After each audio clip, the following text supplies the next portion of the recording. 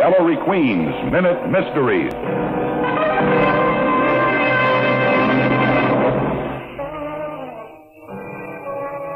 This is Ellery Queen with the case I call the Overlooked Tick Tock.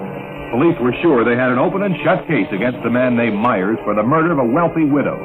See, the young officer said, the clock is stopped at 2.30, the time of the murder.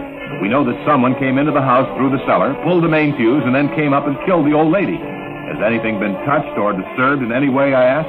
Not a thing, the officer replied. Then perhaps you don't have a fix on the time of the murder. In a moment, I'll explain why. In the case of the overlooked Tick Tock, the clock had stopped at 2.30, but on closer examination, I discovered the clock was battery operated. The batteries had apparently run down. A lesson for a young cop.